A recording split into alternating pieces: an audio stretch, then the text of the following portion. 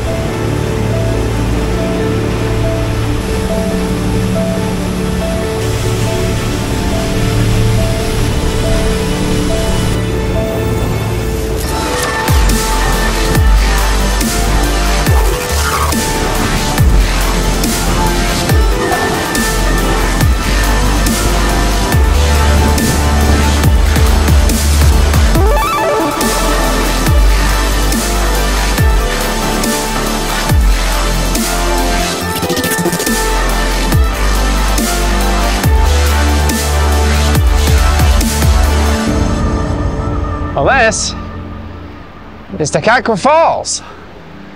And don't be fooled by the easy camera.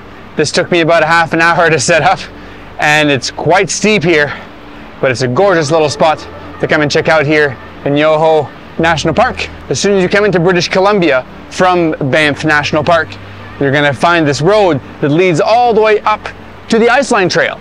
There's a parking lot here, and there's actually multiple backcountry campsites in here. And at the beginning of the roads, there's also two campgrounds. There's the Monarch Campground and the Kicking Horse Campground. Excellent places to come and stay and come visit this place.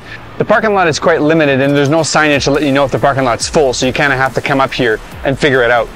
The actual road itself is super narrow in some spots, and there's a set of switchbacks you have to go up to get here, and it's maybe seven meters max the required length of your vehicle. So if you have a trailer, an RV, don't come up here. You'll have to use a smaller vehicle. And at the bottom of the parking lot, there's a couple bridges, there's some restrooms, picnic tables, you can enjoy the waterfalls, and then there's a trail that leads all the way up. Like I went a little bit higher just to get a closer look, and I wanted to see kind of the gorge and everything that the waterfall has shaped over the years. Up top there, oh, I can see him coming down. There's somebody that's actually rappelling down the bottom of this right now. It's quite impressive. So on top of there, it's kind of flat and that's where the ice fields start. Waterfall basically has an infinite amount of water. Uh, this will never pretty much run out unless that whole glacier melts, which uh, hopefully we're not around when that happens. So if you come visit the area at Yoho National Park, this is definitely a must-see to get deep up into this valley. It's a gorgeous area. It reminds me a lot of Edith Cavell, how it's kind of a narrow valley and they made a road as far as they can to get people in here uh, in 2024, we're gonna have to come back here and camp. Uh, my schedule was too filled this year, so I didn't have the chance to come. I was actually supposed to come here last year. I booked my campground a little bit too early, like late June, and everything was still closed then because last year we had a really, really slow melt. So keep that in mind if you're planning a trip here. Try to avoid June altogether. Try to go July, August, September. September is probably the better time because there's a lot more stuff melted and you might actually get access to more cool spots here. Well, this is Takakkaw Falls here in Yoho National Park. And I'm Eric Tremblay, and these are my adventures. Peace out.